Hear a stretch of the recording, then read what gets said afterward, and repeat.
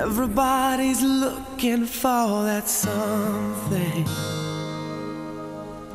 One thing that makes it all complete. You find it in the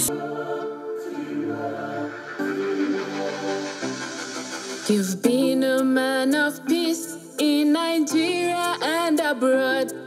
You've made a difference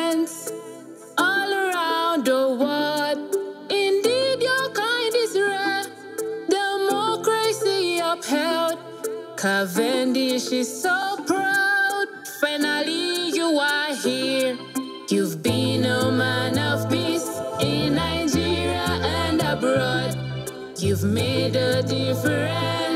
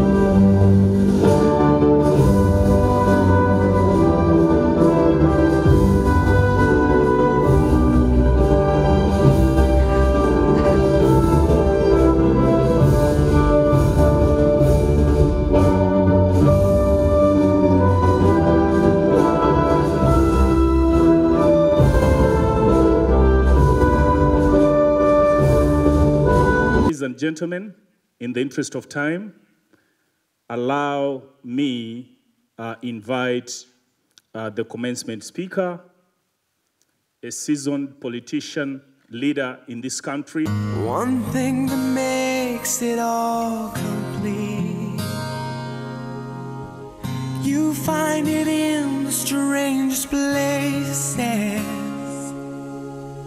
Places you never could be.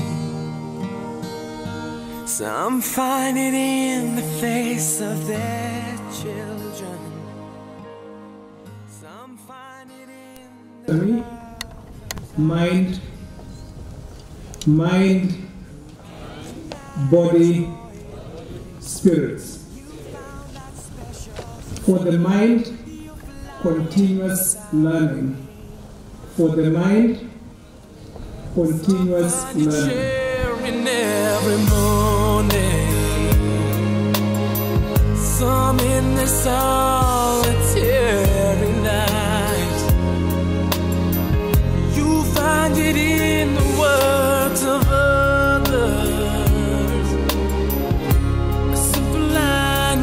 make every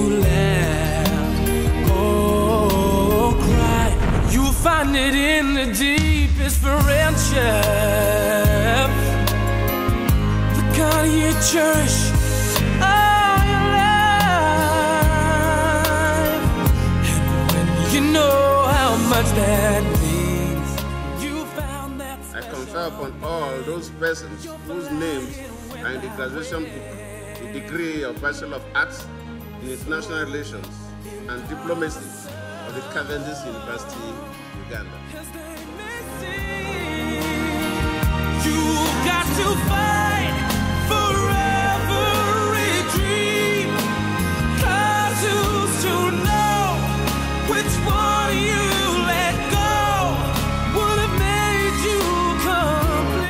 was elected into uh, Kenyan Parliament after I'd done some diploma course. And when I got into Parliament, I realized that there are things that I still needed to have. Uh, after having visited some countries uh, in the line of beauty. Now, I, when I looked at the program being offered by Cavendish, it gave me an opportunity to actually even be interested in going back to, to learn. And uh, today I'm graduating with uh, a Bachelor of Arts in uh, International Relations and Diplomatic uh, Studies, which is very good. I want to encourage those who are still interested in going to school and think they cannot do it because of their age or uh, because they are very busy to try this program here because it is very, very flexible and good. The only thing one has to be prepared for is to physically be here for exams, which I think is good. Uh, the last parliament uh, uh, voted it out, postponed it to 2022. So next year, uh, people will be vying for uh, elective positions in Kenya must have degree certificates. And actually, that is one of the reasons why I think I should do it at this particular time. What we need to do is to accept that things have changed globally and embrace the new technology. Uh, you see now you don't have to sit in class physically to be able to learn. And uh, Cavendish tried their level best to introduce this even before the, uh, before the COVID pandemic came. So what people need to do, let us not, uh, you know, uh, bring an excuse that, you know, because of COVID, people cannot sit down in class. Let us embrace the technology with us here now of uh, distance learning or virtual learning and just learn virtually. Because it is not only about learning that has been affected by COVID. COVID has affected the way society operates, the way things happen in the world have changed. I have done whatever I've done for them, despite the fact that I was still coming here or I was still I still had to spare some time to learn. But now that I am free, I think I'll give them more than what I've given them. So I want them to just trust in me the way they have trusted in me. I also want to thank them once more for giving me an opportunity to serve them because it is not easy to serve, uh, you know, uh, people, a constituent. after the event because there was no wallet loss. I want to know who is dishonest. Uh, dear Chancellor, sir, thank you so much for gracing this event. It has gone in the history of Cavendish University and our nation, Uganda. We thank you for the partnership, sparing time all the way from Nigeria to come and grace this ceremony. We also acknowledge the delegation you came with. I'm sure it will be fruitful And his wife our economy and our people. Thank you so much, His Royal Highness. Thank you so much, Professor. Thank you so much, all the entire team uh, that came with the Chancellor. I like the shoes of His Royal Highness. He, he has taste. Yes. You can tell he has taste. And you want to see how he walks like a royal highness. Right, he looks like a